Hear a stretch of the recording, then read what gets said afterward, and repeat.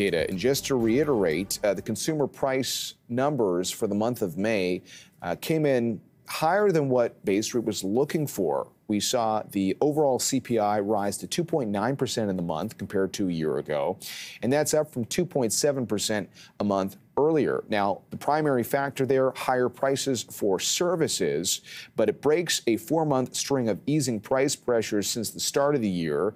And a reacceleration both in the headline and the core inflation could caution the Bank of Canada against a second consecutive interest rate cut next month. Remember, the Bank of Canada recently cut rates for the first time in four years, as uh, policymakers might want to try to determine if this inflation setback is just a temporary one. Robert Kavcic covers the economy as a senior economist at BMO Capital Markets and joins us with his reaction to the inflation numbers. Robert, good morning. What do you think? Well, uh, good morning. So I, I, think our view all along here has been that um, the Bank of Canada is looking at some very positive inflation numbers the last three or four months, and unless something really goes wrong to suggest that that momentum is stalling out or, or turning the other way, that we could be setting up for a for a July rate cut. Um, unfortunately, it looks like just scanning across these numbers that something kind of did go wrong uh, in May, and some of those core inflation measures uh, did start to reaccelerate again. So I, you know, I, I, suspect as the market reaction plays out here over the next little while, that I think the odds of that July rate cut are going to get scaled back pretty uh, pretty quickly. Okay, and in terms of what is driving the inflation story, I mean, we mentioned higher prices for services were one of the considerations. When I look at things like what's happening at the grocery store, looks like food inflation rose 2.4%. That seems manageable. Uh, grocery prices increased 1.5% from a year ago. So for those who are frustrated by inflation at the grocery store, that too seems somewhat manageable. And there is, of course, the irony in a higher interest rate environment of housing related costs, specifically mortgage interest costs and rent. Those still remain the biggest contributors to the annual change in the rate of inflation. Maybe we have to look through that a little bit. But when you when you're trying to assess what part of the inflation story is the trickiest or the stickiest, what do you see? Well, you, you covered a few of the key areas. Grocery inflation is cooling down, and we can see price trends at the producer level slowing down. So I suspect that's going to continue. Um, goods inflation more broadly is, is pretty subdued. This this really, at the end of the day, comes back to the consistent story we've been we've been telling for a while, and that is this is a housing and shelter story, and more broadly a services story. So uh, you mentioned rents. Rents are obviously very sticky. That's something that's kind of outside the scope of, of Bank of Canada policy. That's more of a demographic and uh, immigration and supply side story.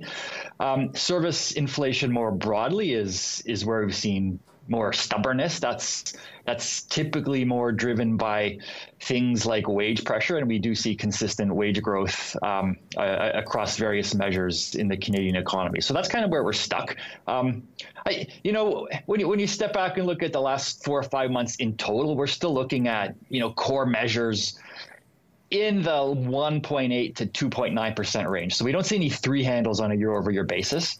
Uh, so we, you know, we're not we're not seriously deteriorating. We're not too far off where the Bank of Canada wants to see it. But I, I suspect that this particular number is going to say, okay, maybe maybe from a risk management perspective, we have to we have to cool our jets a little bit. Now, I want to show our audience what's happening with the Canadian dollar this morning. As we got this data, we did see a push higher in the Canadian currency versus the U.S. currency. The idea of stronger currencies usually signals that interest rates are going to be higher. And just to reiterate for our audience, we recently saw the Bank of Canada uh, move ahead of the U.S. Federal Reserve by cutting interest rates for the first time in four years by 25 basis points the um, uh, weakness in the Canadian dollar is um, uh, based in part on that idea that rates might be coming down, especially versus the United States.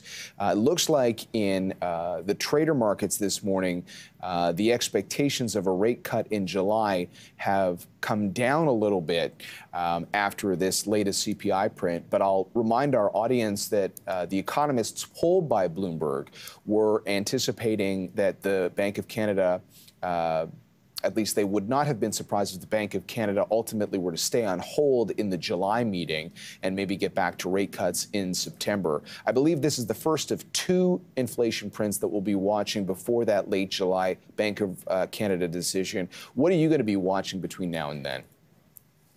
Well, the next CPI report is critical, of course. So, one bad inflation report after four, and let's call them what they are, they were very positive inflation reports, is not necessarily enough to really change the playbook completely here, right? But if we see two in a row, then that starts to become less of a coincidence and maybe more of a trend, and that would be more concerning. So, so you know, if the market's pricing about 50-50 odds of a July rate cut now, which which would be scaled back a little bit from where it was 10 or 15 minutes ago, that that seems reasonable because another good inflation print would make it basically five of six heading into that meeting. So that would be, um, you know, that would be good news. The other thing I would keep an eye on here is the business outlook survey.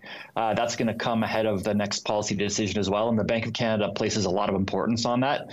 Um, not not not just the measured inflation numbers that we're looking at here, but feedback from the business community on where inflation expectations are. And there's there's a lot of importance placed on that, just given that um, the Bank of Canada is leaning pretty hard against inflationary psychology out there in the economy. And from a risk perspective, the one thing they don't want to do is ease too much too soon and then have those inflation expectations kind of root themselves into re-accelerating, re-accelerating inflation later this year and through 2025. So if the business outlook survey follows this up and it, it looks uh, dovish or looks favorable from their perspective, that might be a, another key piece of info that they that they look at going into July. For those who are just joining us, inflation unexpectedly surged in Canada less than three weeks after the central bank here. Uh, led the G7 in cutting interest rates. Uh, and so this is a potential setback for the Bank of Canada now that they have embarked on this policy pivot.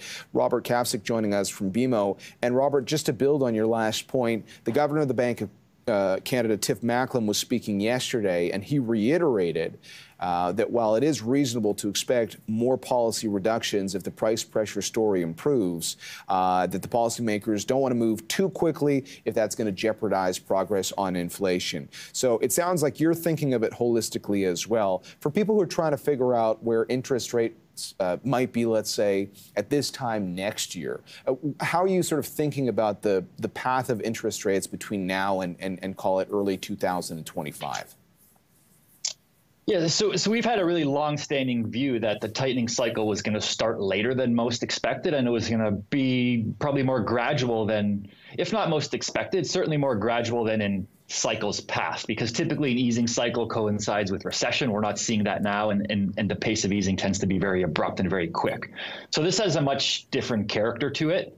Um, where we're coming out of a multi-year inflation battle, and and and as we said, from a risk perspective, central banks do not want to have to go through this again next year, and and I think there's been a feeling for a while that if they're going to miss this in one direction, they're going to miss it in the direction of leaving rates a little bit too high for, for a little bit too long. And, and let's be honest, rates are, are restrictive now.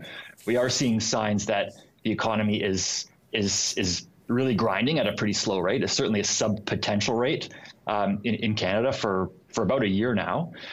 Uh, and so that's the environment we're in. So I mean, to your question specifically, we've had a long view that that June and September would be uh, rate cuts for the Bank of Canada as well as December, and then we'd probably get about 75 basis points of easing through 2025. So there certainly is scope for rates to fall further by this time next year. I just c- continue to have this this hunch that the path is going to be kind of uh, kind of uh, s- slow and relatively moderate, and ultimately, importantly as well, leaving rates at a higher level than than Canadians were used to in the past.